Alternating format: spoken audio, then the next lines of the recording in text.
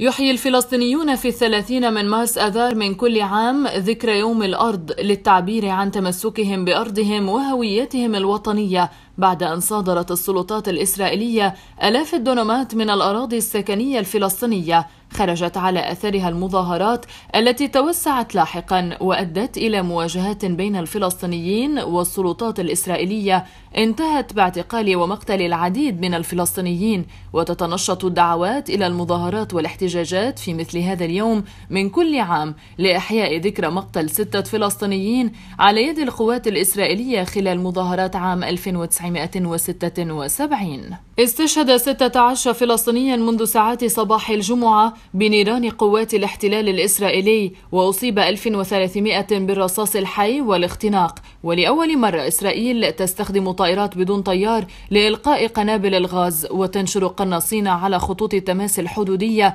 شمال وشرق قطاع غزة. وافادت وكالة الأنباء الفلسطينية وفا نقلا عن مستشفيات القطاع باستشهاد الشبان وحيد أبو سمور محمد كمال النجار محمود أبو معمر محمد أبو عمر جهاد فرينا والفتى أحمد إبراهيم عودة إضافة إلى إصابة 1300 مواطن بينهم عشرة بحال الخطر الشديد جراء إصابتهم في الأجزاء العلوية من الجسم ويتلقون العلاج في مختلف مستشفيات القطاع وأكدت أن تظاهرات ومسيرات عمت مختلف مناطق القطاع وتوجهت إلى المناطق الحدودية إحياء للذكرى الثانية والأربعين ليوم الأرض الخالد.